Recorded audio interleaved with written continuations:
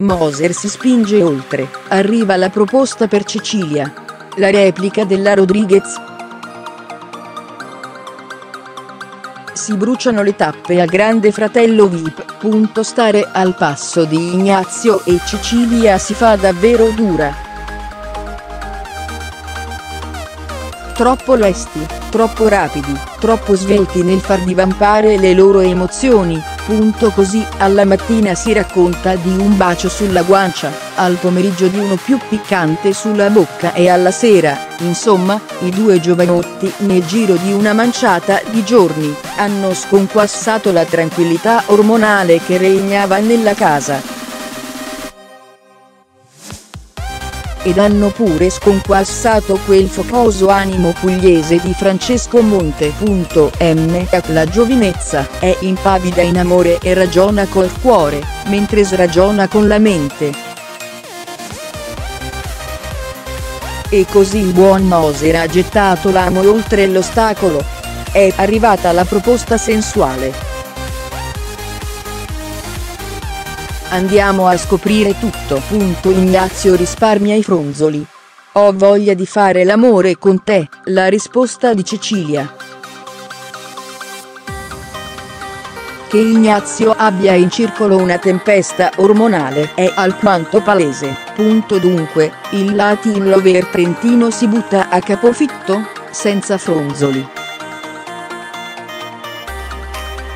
D'altra parte si dice che si è giovani solo una volta nella vita no? E se del domani non c'è certezza, recitava un celebre canto del Magnifico, beh, che si aprano le danze.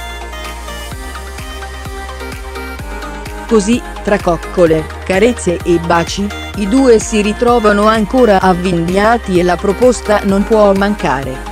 Ho voglia di fare l'amore con te, sempre, È un sussurro quello del ciclista che va a raccogliere in risposta un altro sussurro, quello di Cecilia naturalmente. Tutto il tempo. Senza fermarsi. La chioma ondulata del bel Moser a questo punto ripiomba tra le braccia dell'Argentina. Che le zuccherose coccole procedano, punto grande fratello VIP, Cecilia e Ignazio e dopo il bacio. I fan del reality targato Mediaset hanno già iniziato il conto alla rovescia. Dopo il bacio è partito il Toto Timer su quel che ci sarà dopo. Insomma, Moser ha tracciato la via, chissà se Cecilia lo seguirà, anche su questo percorso ancora più focoso di quello battuto finora. A proposito, se qualcuno avesse ancora dei dubbi, i due possono tranquillamente considerarsi dei nuovi piccioncini in amore.